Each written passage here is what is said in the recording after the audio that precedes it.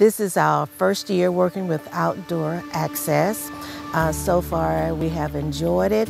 I uh, found out about it by I was reading uh, the Carolina. Uh, it's a little magazine that comes out from Piedmont uh, electrical. So saw that and I said, oh, I, maybe I should try this. And after I made the call, I'm saying, this is all right because as of right now, we're not doing anything at all with the property and this would help us. And so what I really liked, to tell the truth, what I really liked was when I made that call, everything that uh, your representative said to me was true. I didn't have to follow up. The paperwork came uh, to me by email that was helpful. And I am one of these people who believes that customer service is still very, very, very important.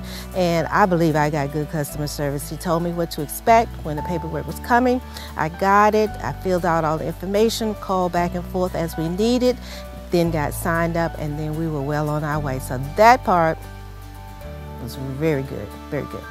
I would recommend outdoor access. Of course, you know, for themselves, they need to speak to the, the, representatives and get all the information that they need. But as of right now, I am really comfortable. I don't have any regrets as to uh, making the decision to go with outdoor access.